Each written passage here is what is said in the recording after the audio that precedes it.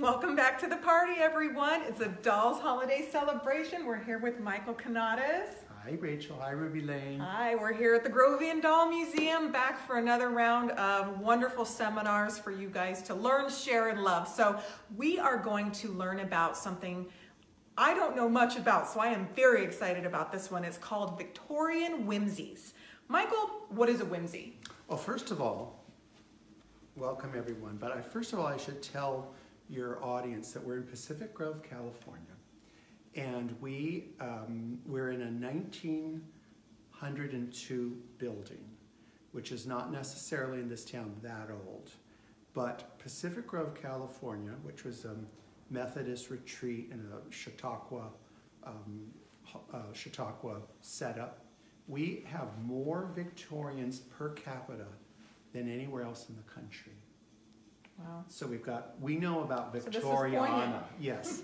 And uh, one of the reasons we have um, so many Victorians is that, you know, we had the Great Depression and no one really had any money to tear down buildings, so they managed to survive. So we do know quite a bit about Victoriana. And uh, part, the Victorian whimsies is actually a very big um, subject matter. It can be many things. It could also be called parlor art. So these are the things that you would have in your parlor, the place that you entertained. Today, people entertain in their kitchen. It's all about the kitchen. In the 19th century, the lady did not go, lady of the house did not even go into the kitchen unless she was cooking. And, uh, but a good, good portion of middle class people had cooks. So the heart of the home was in the parlor. So in the parlor is where you would display your parlor art. So I'm gonna, we have it in the Grove and we're lucky to have this fabulous Oh my goodness. tableau of a parlor. And when you look at, the first time I looked at the painting, I thought it had some damage. But then as you study it, you realize this is, by the way, a little boy. The little boy has gotten into the coal scuttle. so all that, all these spots are coal. But you can see the idealized Victorian parlor. He's got his uh, teething ring with the coral, which was good luck. He's got his balls, uh, but he's very mischievous. Notice the people that are out there that collect lace. All the lace is beautifully um, represented. And of course, you've got your nice little fireplace going. So it would be in rooms like this that you would find things like this that are on the table. This is So I think Rachel incredible. should give them a, a pan, We'll a little of it, pan, and then and then we'll we'll- go and we'll go in We'll deep. talk. If you guys are tuning in, we are here at the Grovian for our Dolly holiday celebration. If you're tuning in, share the video so more people can hop on. We're giving you a little pan of this table and then we're gonna go in deep. This is our second seminar of the day and we're so excited. I think I should start with really.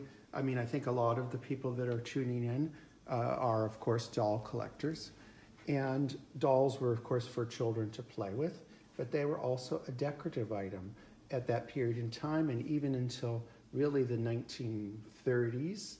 Um, dolls were used as decorations in homes. So if you happened to be a lady that loved a beautiful doll, you didn't have a child, you could buy a beautiful doll like this, and by putting it in a dome, it becomes parlor art.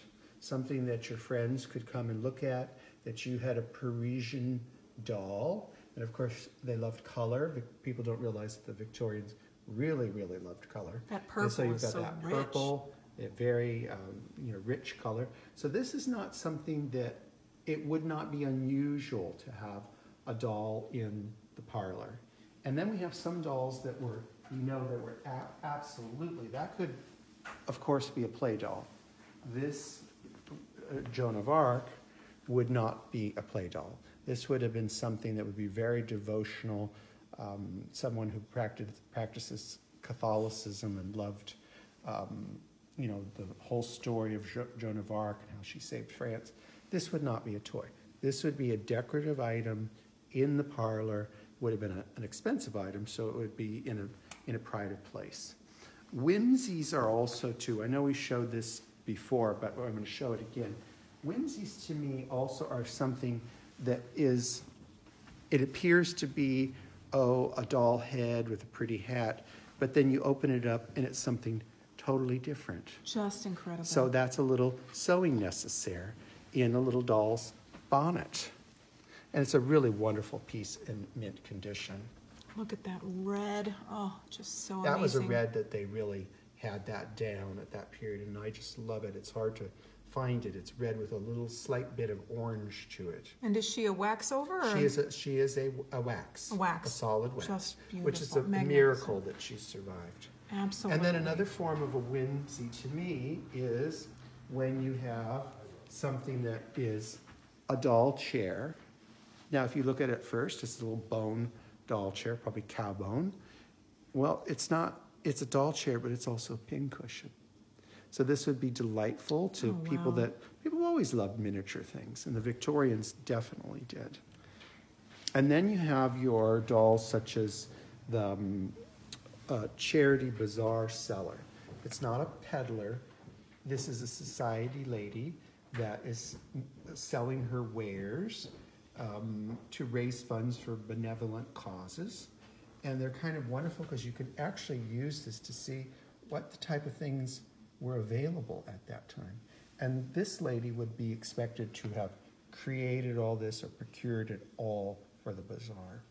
She's and this- just magnificent. And, and this is a very ear- early Victorian, and this would have had a, a, a dome, and it would have been in the the um, parlor.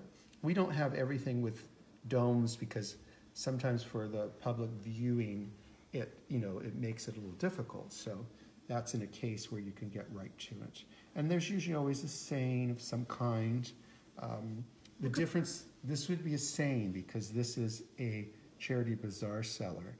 And when you have peddlers, which we should, we should move to peddlers, they're different.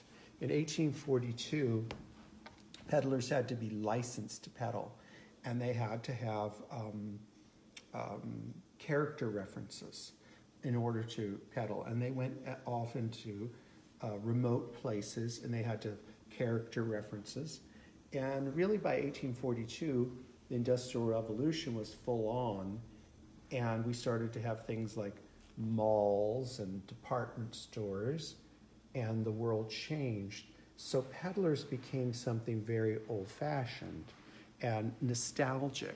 And that's why you'll see peddler dolls under glass domes, and they're really Victorian uh, uh, parlor art, whimsies. Wonderful. And of course, here's an example, and I'm not going to wind it because it'll just embarrass me. Because here's you have a, a miniature singing bird cage, but it's two things it's a bird cage and it's also a clock. If you look at the top, it has a dial and it will oh, tell time. neat. But if I wound it up, it wouldn't It probably play. wouldn't. the minute the camera stops, it would.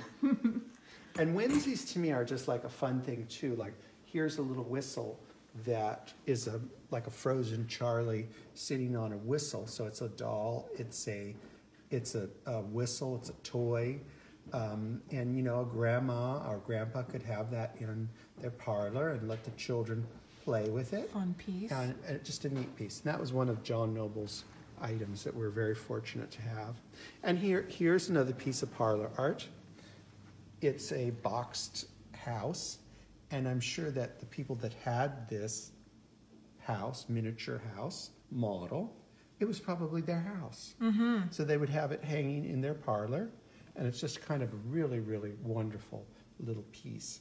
We love these kind of untouched items because you know the colors perfect the window panes everything is as it was and it's a really wonderful documentation and then we should move to some well if we're going to talk about wild These, lobster we just love these lobster dolls, Yes. proving that a doll can be. It doesn't have to fit a certain mold. no no this would i would put this into uh, the category of anamorphic so it is a it's an animal with a human um, um, well they're in human clothes so let's just say that's anamorphic and um, these these were cr- actually created by john noble and they were from an original uh, ladies magazine instruction They are And just they're- fabulous. They're, I should tell you a funny story about lobsters.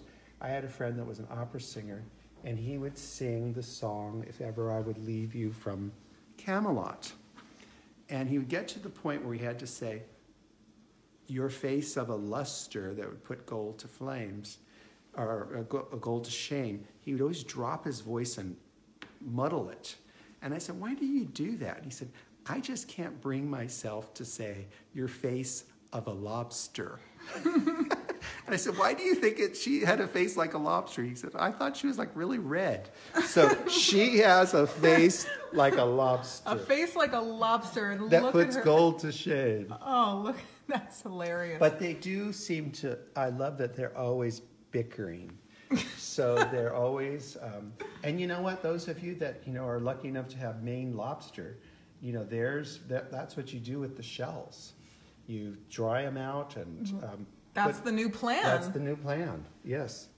Um, and, and speaking of wild, here is someone's, this is like quintessential Victorian whimsy parlor art from 1863.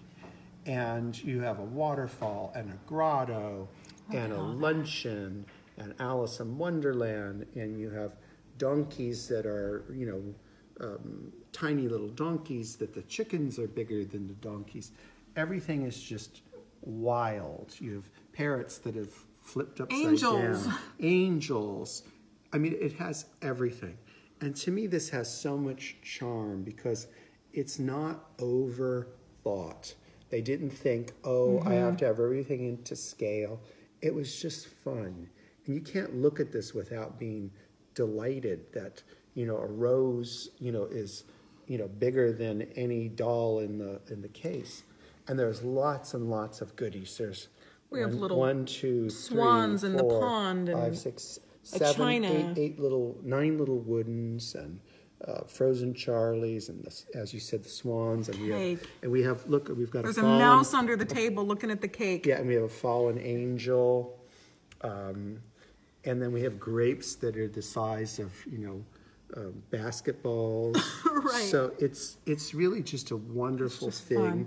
And in back, the portraits are the Prince and Princess of Wales. We have Eva Perón in the window. Uh huh. Yes. yeah.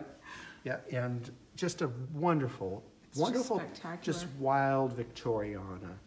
And then, you know, David and I, um, Kay, who's in our audience today, asked me, "What does David collect?" And I said, "Oh, we collect the same things." And I said, "But sometimes we don't agree."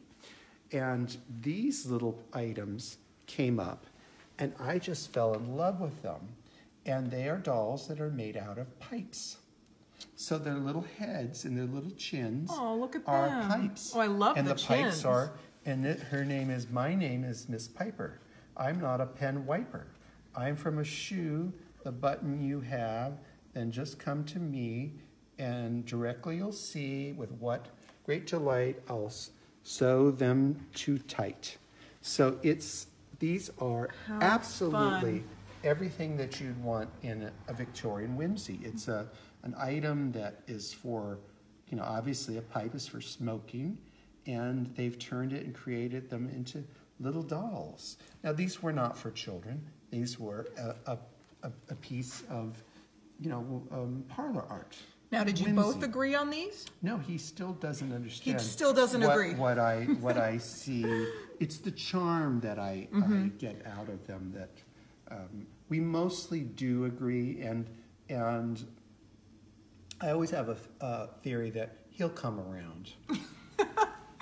What is uh, written on her apron? I think that there's a whole a, a whole saying, and I think it's actually this. Okay. Yeah. So it's actually this. Those are in it so that it's it's. I mean, this was not done yesterday. This is, you know, I mean, let's face it, kids. Some days this will be our own secret language that no one will be able to read. Mm-hmm. Well, we hope not, but yeah, yes. Yes. And um, the other thing I should show you too is I know we saw these in an earlier tour, but these are Grodner Tals, but they're all, th- these right here are all pin cushions. So this is one of my things that I'm working on collecting uh, right now, and I just love that you know underneath all of this, you know, there is a whole body, but I would never take it apart.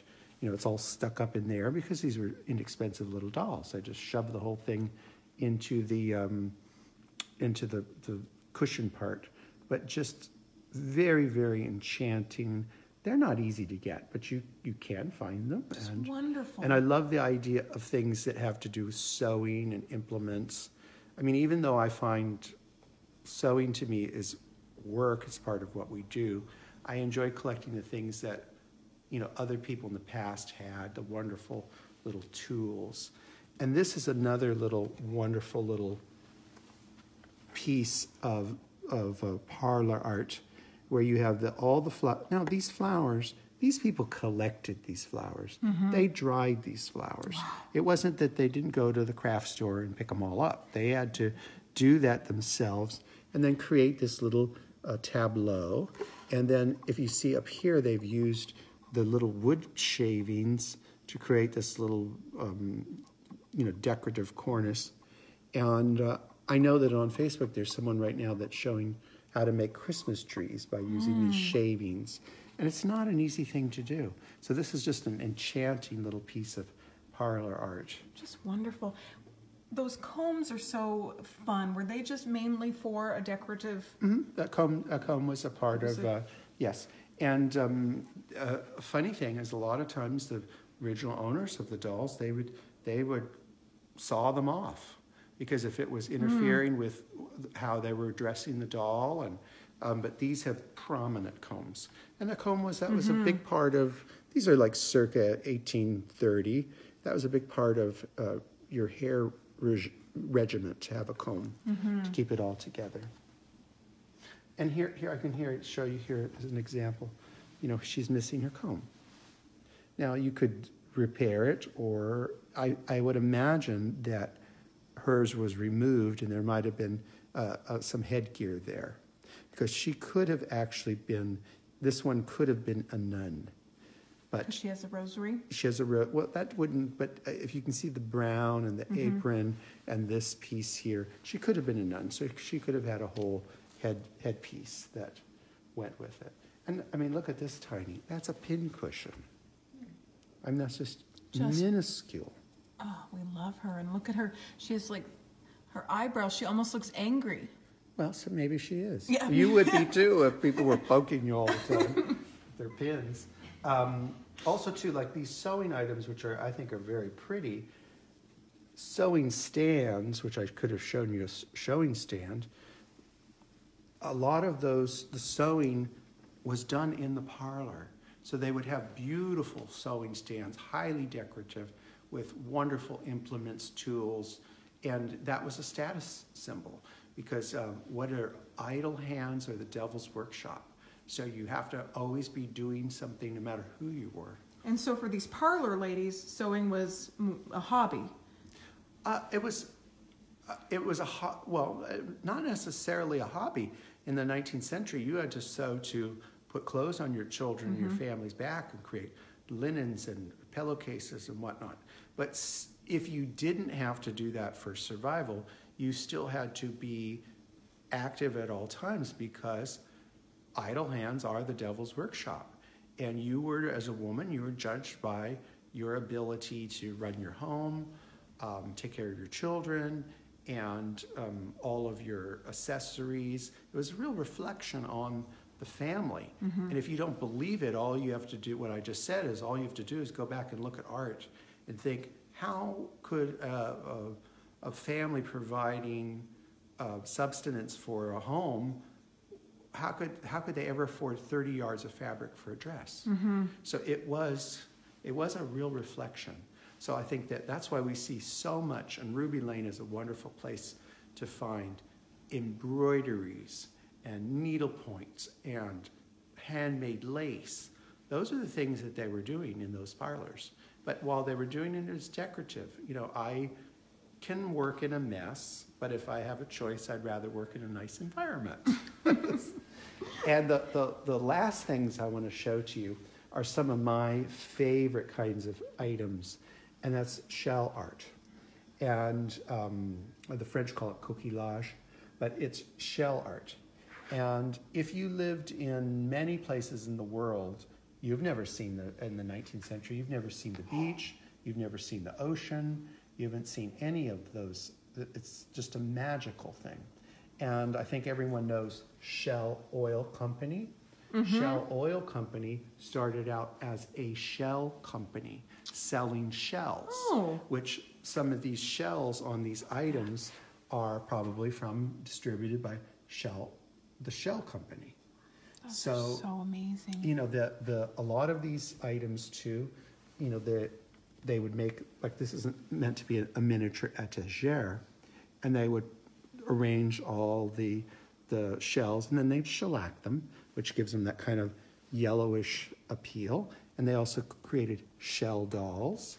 And here's a phenomenal little shell grotto get with a china. Here, I can There we go. um, a shell A grotto with with, a a. China, China with her little baby, Oh, and that. she's in a shell grotto. And these are like delicate, wonderful little shells. And they're just, they're intact. That is Yes. so incredible. Yes, but this was a very special thing. Mm-hmm. And uh, uh, 1925, my grandmother, who lived in Wyoming, she hopped a, a train to California because she wanted to see the ocean. And to them, that was just an incredible marvel. To, it was unbelievable to see the ocean. And they made just about anything you can think of, they would uh, adorn with shells, not just dolls, but picture frames and furniture and mirrors and you name it. It was, uh, shells were used. These picture frames are just incredible. Yeah. It almost reminds me of tramp art in a way. But In a way, it is, it is tramp art, but a lot of it was, to be perfectly honest, that it was uh, cheap souvenirs, seaside souvenirs. You could find all kinds of wonderful things from.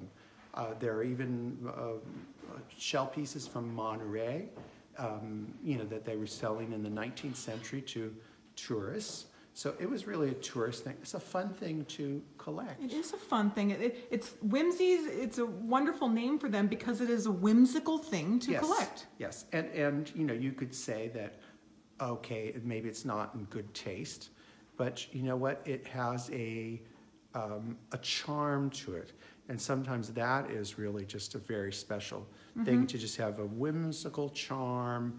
Um, It's happy. a happiness. hmm And all of these things, they're meant to delight people. And that's, that's the whole point of it. Because, you know, they didn't have constant entertainment. They didn't have YouTube and Ruby Lane Live. They didn't have dolly cams they didn't then. have dolly cams then. but if they had it, they'd love it. Well, isn't it just wonderful though that here we are 100, 150 years later, even earlier, and these items are still delighting us just as Yes, and Just you know what? much. I mean, it's it's a, a, a fun thing to collect this kind of item, and it's uh, they're available. You know, the of course some of the doll things here I've showed you are a little harder to get, but a lot of things like these shell pieces they're Mm-hmm. available. There you can go onto Ruby Lane right now and probably buy a lot of things. And I, David and I put them in bathrooms. Created a oh, nautical good sea idea. Fun. theme in a mm-hmm. bathroom, and it makes a really neat, a, a neat thing. And if you have a Victorian, I mean, I'm appalled by that. There are a lot of people that have Victorians homes with nothing in them that That's are Victorian. Victorian, Yeah. exactly. I mean, that's the whole point of it. Catherine Peterson just said that they're timeless. Well, yeah, they which are is timeless. Yeah, they are. yeah, yeah, they're timeless. And again, we just love this painting, and, and Sure, the painting in the other more room. yes, we at it? would. Because the painting in the other room is one that we've had a lot of questions about as well.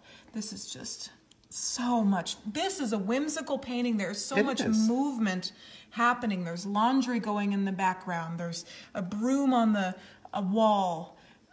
This child is a very naughty little boy. I mean, a- and and they did not have um, any problem at that period in time with corporal punishment.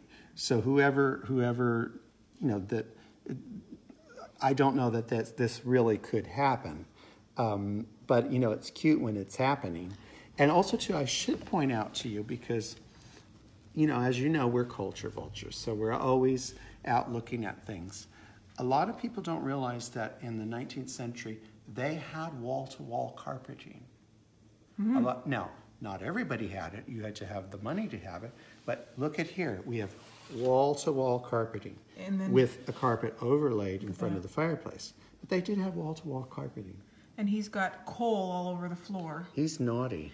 He is not. It makes you wonder if this child was actually sitting for this photo or if it was the artist's, uh, you know, imagination. Well, I mean, I would imagine that this is- is a rich house, and I would imagine that if he did the, did this, he would be in trouble, and also his governess would be in trouble for this. This would be a double. Or if you were an indulgent parent, which they had them then too, um, this might have been just like hysterically funny. But it's a it's a fantastic painting, and we we kind of have it for a few reasons because you know that we have doll houses and we're very interested in doll houses.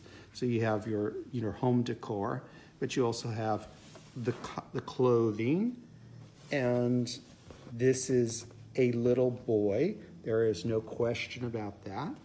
Um, a lot of people would argue it, but it is a little boy, and he's just he's just naughty. And of course, you can see the newspaper is there. The at that. London London I think it's the London Journal. I don't have my glasses. London on. Journal. Yeah, mhm. and Just wonderful. There's a lot of depth in this photo, in this painting rather, because we can see the back room. It goes back all the way like that. absolutely, and the lace too. And somebody would like to know uh, why, how do we know without question that it's a boy? Because there's certain characteristics about the clothes that um, they wore dresses. They were usually not as elaborate as little girls' dresses, but they were dresses. And you can tell by the shoes and the, the you know, she's got very kind of masculine shoes. I mean, actually, it's a fine line between boy and girl. The whole point of that was to little boys would get kidnapped because they could be taken and put into the workhouse. That was a it was a brutal time. So you wanted your and also to the hair, and you wanted the um, you wanted the, the children to for them not to be able to really tell the difference. But as you kind of do this, you kind of start to you just feel it, whether it's a he or she. A lot of little boys had phenomenal soutache suits, little dresses with soutache covering. And boys, you know, were typically a little bit more naughtier than Yes. than the little girls. Yes. So and they could, well, and I think they could get away with more than little girls too. And, uh, that is true. Well, this was just spectacular and something that we are thrilled to learn about. It's not something you see every day and a wonderful thing to celebrate and be happy about for our dolls holiday celebration. Michael, thank, thank you, so much. Thank you, Ruby Lane. We'll see you later this All right. afternoon. Bye-bye. Bye-bye.